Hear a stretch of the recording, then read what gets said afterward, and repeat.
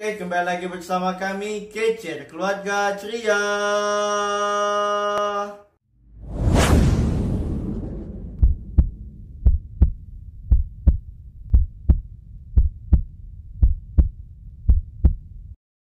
Di segmen Warta Tawa, ahai deh.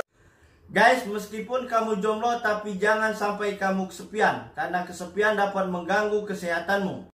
Tapi sangat dianjurkan kamu untuk segera menikah. Berikut dampak kesepian yang mungkin menimbulkan masalah menurut para ahli Amerika Serikat.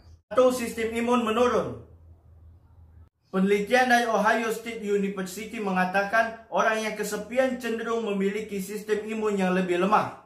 Menurut para ahli, mereka lebih rentang mengalami peradangan yang terkait penyakit kronis seperti artritis, jantung, dan diabetes.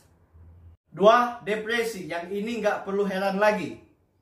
Perasaan sepi bisa membuat seseorang merasa pedih hati. Selain itu, menurut para ahli, kesepian bisa meningkatkan hormon kortisol atau hormon stres dan dapat menimbulkan masalah. Nah, jika kondisi itu semakin berlarut-larut, maka dapat memungkinkan depresi pada diri seseorang. Tiga, penyakit jantung. Berdasarkan riset dari Harvard University, kesepian juga bisa memicu penyakit jantung. Menurut para ahli dalam riset tersebut, Orang dewasa yang hidup sendirian dan merasa kesepian memiliki risiko kematian karena penyakit jantung sebanyak 24%. 4. Memperpendek usia. Dampak terparah dari kesepian kronis, efeknya bisa mempercepat kematian.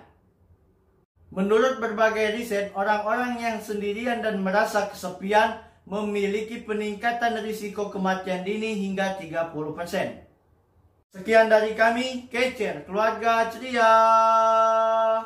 Sekali lagi kami ingatkan jangan lupa subscribe, like, komen, serta share ke teman-teman kalian yang sesama jomblo. Saya Deden mewakili Kecer keluarga ceria pamit undurkan diri. Sampai jumpa di video-video berikutnya.